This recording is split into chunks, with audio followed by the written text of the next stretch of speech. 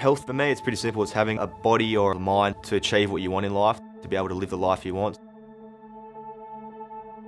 So after my 13th birthday, I remember being in a room with just mum and a, and a doctor and I said, you've got diabetes. I had no idea what it was, didn't know what to expect. It's another thing to think about, so I think most guys just, once we turn up on game day, just worry about sipping on the Gatorade or putting their boots on, but for me, I've got to check my level. As long as you're able to live the life you want, I think that's health. My pancreas doesn't work too well, unfortunately, but it doesn't stop me from playing footy or going to uni or, or going out with friends. Happy with myself. Today, health for me is it's keeping a daily check.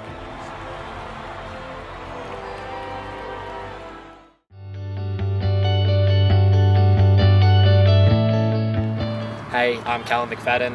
I go to Wollongong University part-time commerce study.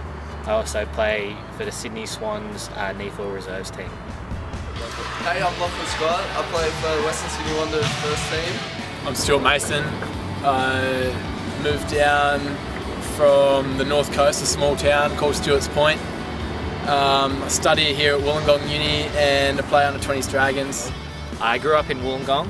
Um, I moved to Perth when I was nine years old. Uh, I grew up in Wollongong my whole life, so I live down here in Mount Ousley. And yeah, I've been there for 19 years now. Not really the academic side of things, mainly just being with your mates, um, making friends and yeah, having getting to see them every day. I really enjoyed school. Um, a lot of great mates came out of it that I still talk to today, and they've um, had a big influence both on my sporting and my um, social life. Um, kind of just like school to go chill with my mates and stuff. I didn't really get that much into schoolwork, but yeah, I like to go on for lunch lunch. I played I played everything. I, played soccer when I was real young, cricket, and then yeah, moved into rugby league when I was about 11 years old. Uh, my parents weren't too big on it. They were a little bit sort of um, cautious of me playing a contact sport. I guess mums are a bit like that.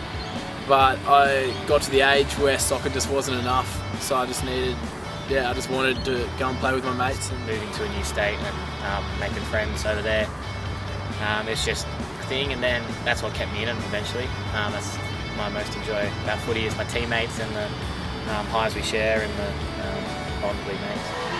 I wanted to play footy when I was little, but then my dad thought I was going to be too small, so he put me in soccer. And then yeah, I just enjoyed it and just ran with it. Played ever since. Uh, I've played for the last two years. I've played in the local first grade competition, in the Illawarra Coal competition, and also under 20s. Uh, New South Wales or um, New Swans Reserves? The Wanderers first team in the FFA Cup, so like Football Australia Cup, or in the under 21s Australian team. Yeah, well we're travelling to Vietnam on Tuesday, so we go away on Tuesday for three weeks. But um, last time it was in Laos, went to Laos and just a couple of teams to qualify for the upcoming qualifiers for the World Cup. For the first time stepping out in the field in first grade, I was I was nervous. Every part of my body was shaking. Um, I was playing with blokes that I'd sort of watched for a little while and looked up to, and then I was straight onto the field with them. A few ex-NRL players were running around out there. It's surreal. It's um, it's nerve-wracking, but once I got out there, that pressure all lifts, and you, you're part of the action. You're one of them. Yeah, my first game. Um, it was very nerve-wracking, especially walking into um, change rooms with um, you know some of the people that you've been watching on TV, and that's probably the big thing you find that they actually are. You know, some people you look up to, and they're actually just you know pretty normal guys. But um, all the um, guys were great, and they really do get around you early on, and um, yeah, it was um, a bit different. my third game for the Swans, you know, coming out with a legend like Adam Goodes, you know, that was probably one of my career highs? Uh, yeah, it was definitely nerve wracking, but once you're on the field, it's, it's all the same. You get out there and just play your usual game and just enjoy it. Probably the most memorable thing start at the start of this year. I played in the under 20s charity shield against the Rabbitohs. Um, yeah, my parents parents are there and they got to watch me play, which was a pretty special moment. In uh, under 16s, I think we played in a major semi-final and I happened to get man of the match that day. And after the game, this bloke walked up to me and said, told me he was a rugby league manager, and um, he wanted to sort of take take me further. Um, a huge goal of mine was making the New South Wales Rams nationals team, and that was going away to nationals and competing there. Um, that was huge, and you know you got to play on some great stadiums um, all around the country, so that was fun. But yeah, um, the Adam Goodes game that I got to play with him in reserves. The scoring on my debut for Wanderers, that's definitely a memory I won't forget. That's probably the biggest fight. I've had a few injuries, a dislocated shoulder, um, ankle ligaments, which set me back for a while. I tried to come back too early, injure myself again, and uh, yeah, that, that kind of hit me hit me fairly hard. I didn't know where that was going to take me. Uh, you get fairly depressed in a, in a sense, not being not being able to be around the team, not playing. Um, my under 16s year, um, which is a pretty important year in the AFL calendar for New South Wales. Um, I missed my whole season with a stress fracture in my back, and I didn't um, do anything for 10 months. For that 10 months, I was probably a different person. I was I was upset. Uh, yeah, was, you really do missing miss playing. Mum and dad, I think, were around me a lot and helped me out a lot in that respect. Helped me get back onto the field and just tell me to look at the bigger picture, I guess, which is what you got to do. Uh, I was pretty fortunate that I had a, um, actually two teammates go through a similar injury at a similar time, and um, yeah, just probably with them, just seeing what they're going. They came back before me, unfortunately. That was tough, but um, yeah, that just that I wasn't the only one.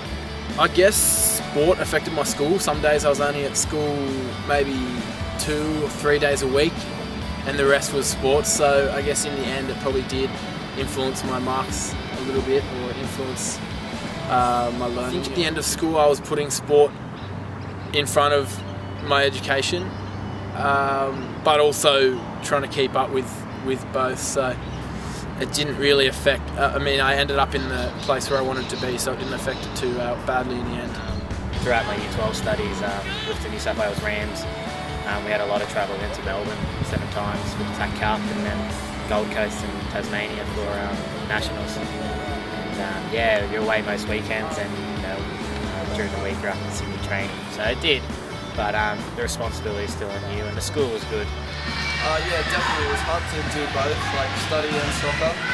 There's a lot of time I'd be in Sydney and I had tests coming up and I'd miss a lot of school because I was training and things like that what it does is it just limits your time you can spend with people, and I think um, people that aren't in that sort of environment don't understand how limited you are with the time you get, and the, some of the sacrifices you have to make are friendships, I guess, in the end.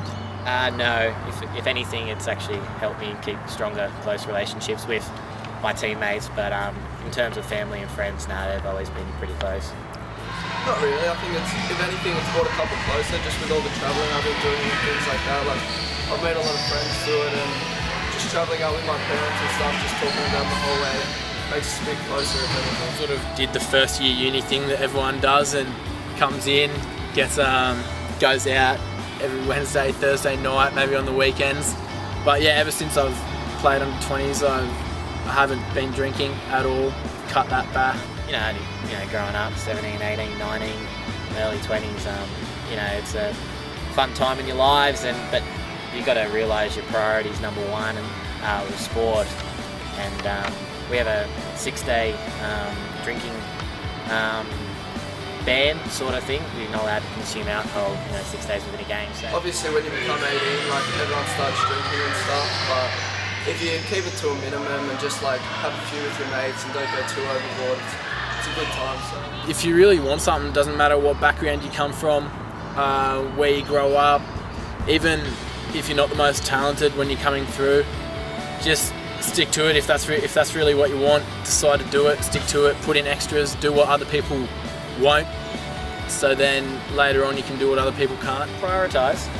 Probably just prioritize um, what you really want, and uh, realise that study is important, but at the same time. Um, you know, go for your goals. Stick with it, like keep going at it. A lot of a lot of people get knocked off track by like the drinking and your friends and stuff. You want to be out with your friends all the time, but you just gotta put that aside and stick with it because if you love it, you'll get the rewards.